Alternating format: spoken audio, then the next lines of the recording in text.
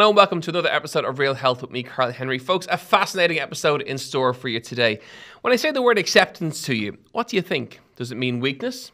Accepting something that you don't want to accept, for example? Or does it fill you with a sense of contentment, being able to accept some of the realities of life and maybe picking your battles? This week on Real Health, we're going to chat about the power of acceptance and how it can transform our mental health and our well-being. I'm delighted to be joined by psychotherapist and mindfulness teacher Pádraig O'Morain, whose new book, Acceptance, Create Change and Move Forward, is a simple guide on how to practice acceptance and find happiness in our lives. Pádraig, welcome. Thank you very much indeed, Karl. Thank you. I'm looking forward to this. Uh, I'm fascinated by the topic. I'm fascinated by the idea. I'm fascinated by the idea of the book. So let's get stuck straight into it.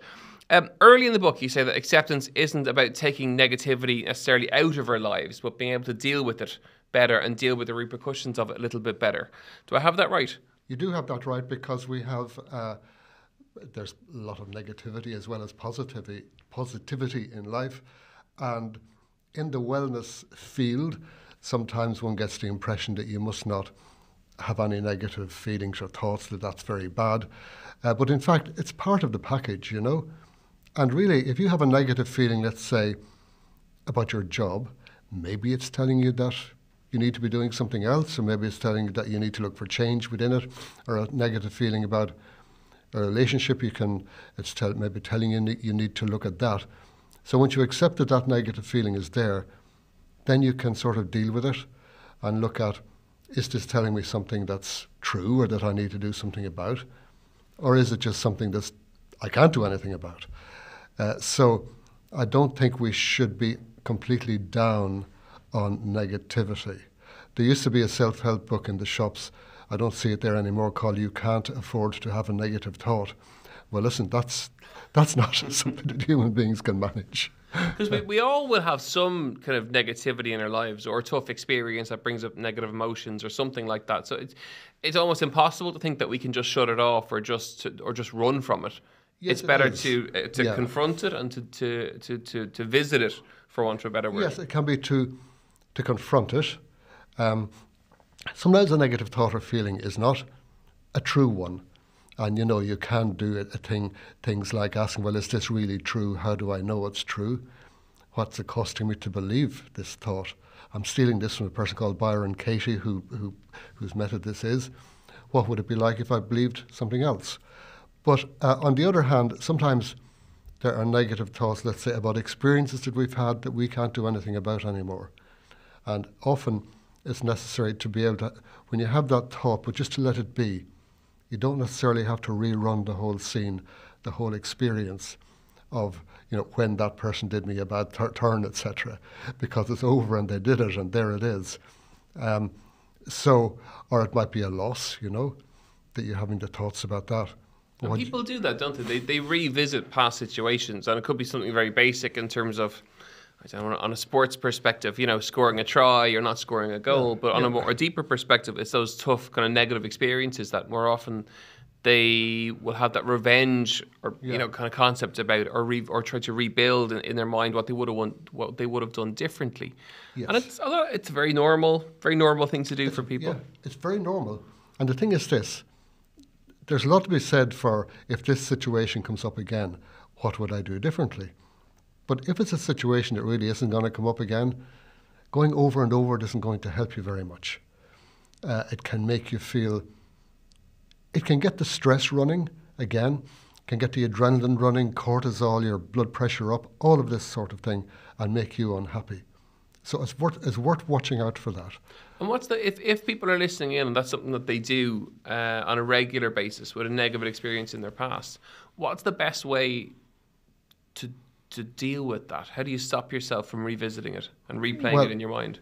I talk tend to talk about letting it be. People often say about things to, to let it go.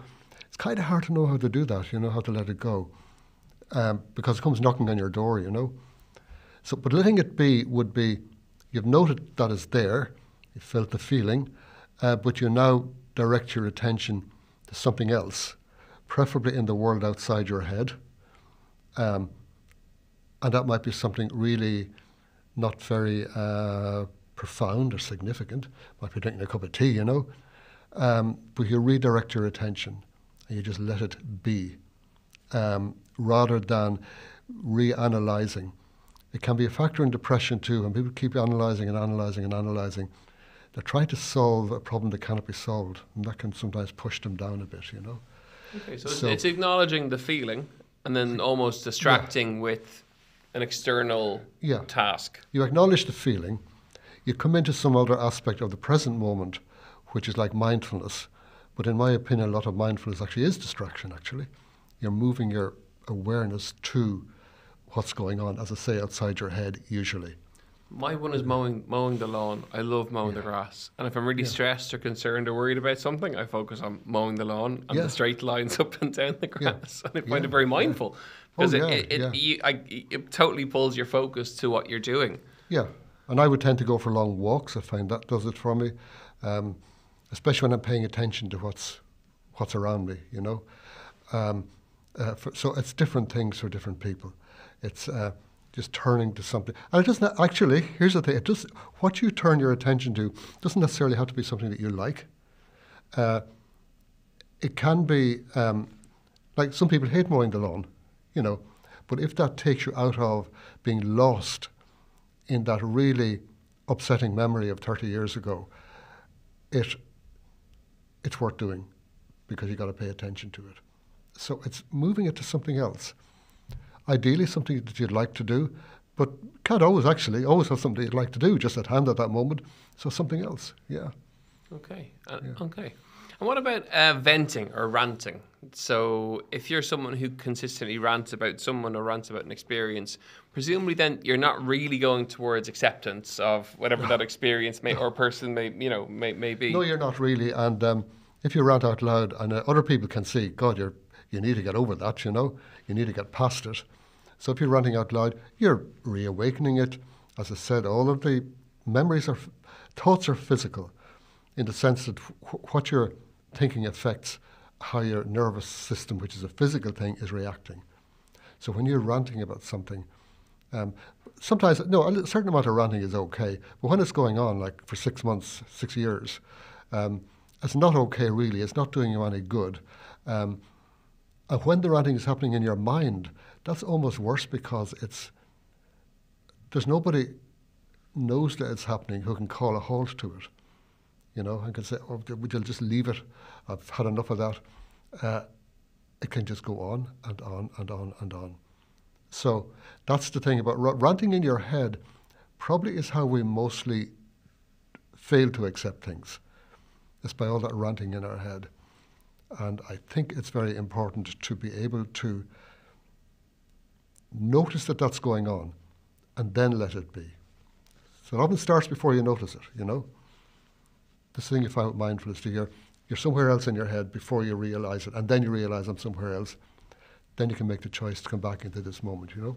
And if you are someone who does that, who you know rants in their in their minds and overplays in their mind, is presumably talking it out is a way of helping to deal, or is it, or uh, uh yes, is it helping be, yeah. people to deal with that?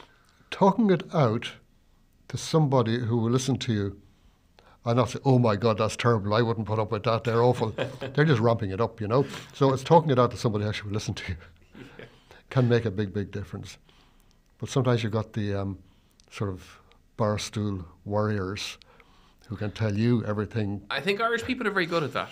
We're very, very good at that, even without barstools, yeah. you know. we're, we're, really good at that. And um, that's the tea. Uh, there was a, a, report on the news this week about tea and biscuits, and there was a big campaign yeah. to kind of get uh, gatherings happening again in the office. And one of the things that happen when you get gatherings together in an Irish scenario is people rant and kind of. Yeah, yeah. But what you're saying is, you know, having a rant about I don't know your boss or the weather or whatever. If it's a you know short term thing, that's very normal and that's very kind of regular. But if it's you're ranting about the same person for six months, six years, that's exactly yes. something that you need to work on and address. And actually, when you're in an organisation, when you go to work in a place, ranting about the boss is a way of belonging. This shows I belong. I uh, belong enough here to know that everybody believes that the management don't know what they're doing. It doesn't matter where you work. Um, um, so I know this, and we're all sitting here saying this because we all know better than they do. That's fine, but you can recognise the person who's ranting about the boss is kind of it's got a psychological grip on them. You know, they're not doing anything about it, but it's got this psychological grip, and you're wondering, you know, what's what are you getting out of this? You're getting nothing out of it, you know. And if time moves on, what do you do if the boss leaves or something like this? Uh, I often wondered that uh, about that, but people we rant about. I'm sorry for being a bit sniffly this morning and up, if I upset your, your innumerable listeners, but that's just the way That's it is today. fine. I have to accept that. Chat But- to me about acceptance and approval then. That they're they're they're two different they're two different things, they're completely different things. Oh, yeah. If I accept that, if I was to accept that I had, let us say, a drink problem, that does not mean that I approve of the fact that I have a drink problem. It means I accept that fact. That eventually leads to change. Not straight away because it's too, it's too hard to do straight away sometimes. But accepting that something is so is not approving of it. Look at people. I sometimes think about if, if, if you had, say, Ukrainians listening to this and they said, Yeah, tell us about acceptance. But they had to accept that this terrible thing was coming towards them. Uh, some had to accept that they needed to get out. So the acceptance can be quite a bitter thing sometimes, but it tells you what to do next. It opens that door, you know. Okay. think Yeah, it, important. gives you the, the impetus to make the ch- make the decision or to make the change when you accept oh, yeah. that something. Oh okay. yeah, yeah, yeah. Um, so, and sometimes you would find, say, in long the the, relate, the, the research into long-term relationships, for example, shows that things that annoy people, sometimes the same thing things about the other person uh, goes on annoying person, someone throughout even a long relationship, and you just got to be able to accept it, and they have to be able to accept your peculiarities. If you can't, then either the relationship won't last or it'll be kind of very you know, cranky and conflicted and snarky. Um, now, that's not to say that there aren't things that are deal breakers. And it's a funny thing in a relationship, but not funny, it's kind of tragic. Sometimes when there's something happening in a relationship that is a deal deal breaker, like a kind of physical or emotional abuse, say, it can take people years to accept this is happening and this person is doing it and they're going to go on doing it. It can take years for that. So acceptance isn't fast necessarily. But once the penny drops, then you begin to look and see, can I do anything about this? And um, that's how it's, it's sort of creating change moving forward. Sometimes tragically, a person cannot do anything about it. But sometimes you can. And that's where acceptance helps, I think. And you know, you're saying there it's important to accept others and, the, and faults in others, but you know, in the book you're saying that it's really important to accept yourself, Yeah. and that for real happiness and for long-term happiness, one has to accept who they are. Oh yeah, oh yes. I mean, you've got, you've got your triumphs and disasters. You've got your, you're a saint and a sinner. You've got successes and failures. And really, if you can accept yourself, you don't have to be in conflict with yourself for your whole life. Um, you can, you can accept your imperfections, but you can also accept what's good about you. You know, and what you're good at. Again, it's an Irish thing, I think, that we're terrible at accepting that we're good at something. Somebody pays uh, a compliment and uh, we are immediately push it away, make some excuse. So we're terrible at accepting good things about ourselves. And if we can accept that, it just makes life, I think, so much easier. And um, I think it's, it's the non acceptance that gets us into trouble quite a lot of the time if you're not, ex- somebody said it, if you, when you fight with reality, reality always wins, you know? So accepting reality is great. And it doesn't mean that you're, it doesn't mean that you're going to feel terrible about yourself. It means that you will probably do what you can to develop, maybe to change, but to develop, to move forward in a, in a way that's good for you. So that is very much accepting that we're not perfect and we all have faults in Yeah. some way, shape, or form, and accepting the fact that we do have faults, and you know, and Yeah. coming to terms with that. Yeah, if you think of, um, I, I have this analogy. I don't know how good an analogy it is anyway, but I often think of sort of life as kind of a compost heap. You know, there's all this stuff there, and um, if you can accept that, um, there's a, a Buddhist idea in in one of the uh, books that I, I read about about uh, a lotus growing out of a dung heap or something like this. And they're sort of talking about acceptance. You, you're accepting the whole thing. Um, in um, there's a book called Full Catastrophe Living, which is about acceptance of pain, chronic pain. And it had a lot to do with kicking off the current mindfulness movement. And that's based on a line from Zorba the Greek from that book, film, in which Zorba says, I accept, I accept life, I accept everything, I accept the full catastrophe of life. So it's that kind of thing, not building walls and shutting yourself off. And a lot of what we're chatting about will link into anxiety in people. Yeah. And, you know, acceptance, and by doing that, can help to manage anxiety in many ways. Absolutely. I think accepting that you have anxiety about something is really important. Um, let's say you're anxious about something. There's something you've got to do. You're anxious about it. You've got to give a presentation at work or something. If you didn't get anxious about the fact that you're anxious, you've added another layer. You just say, okay, I'm anxious. I better get cracking on this thing and go in and do the best I can. If you're exa- anxious about uh, an exam you've got coming up, at the time that we're doing this, people are facing exams. Mind you, people are facing exams at every time of the year, as far as I can see. So if you're really anxious about that, it is helpful to ask, instead of saying, oh, I shouldn't be anxious, is there something I need to do to boost my chances of getting through this thing in, in, good shape. Um, so I think anxiety, remember, anxiety is always with us. It's part of the deal. It's um, and the important thing is not to dwell on anxiety so much that it paralyzes us, but to be able to acknowledge the anxiety is there. Is it telling me something helpful? If not, sometimes I can just observe the feeling of anxiety in my body and allow it to go. So you know, every podcast episode I do get anxious coming up to, to into record, and yeah. you deal with that by yeah. you read your research, you read your notes, you prepare as best you can, you arrive early. You, you know you deal with all the factors yeah. that can help to reduce the anxiety, but you accept the fact that you're going to get nervous, or if it's a presentation or whatever, maybe it, you're going to get nervous. It's going to happen, but you can manage all the other factors to help to reduce it.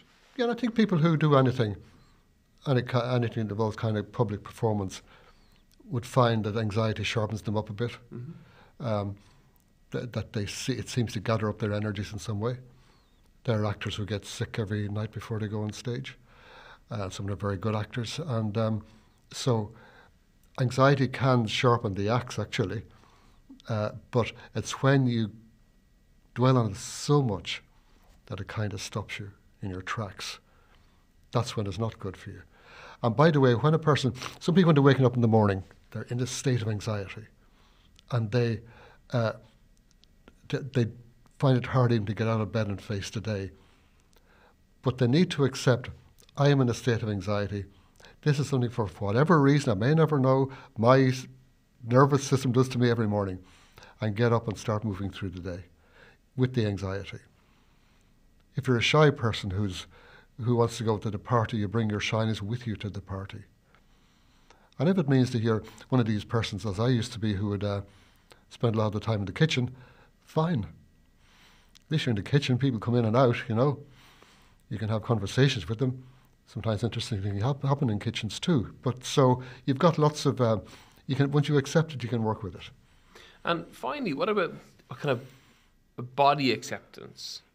Because it's something, again, in an Irish context, like the body positivity movement, yeah. people are generally very critical or self critical yeah. about their appearance or about how they look or about their weight or whatever it may be. Uh, and that causes a huge amount of issues for people. Yeah. Are there ways that people can help to improve their body acceptance or improve their ability to do it? I think that um, accepting the body, I mean, we do live in an era where the body has been not accepted. Do I think that might be changing a bit? It might be a, one thing is to not be, instead of looking at the perfect per people around you, look at the average person around you. They're probably much the same as you because they're average.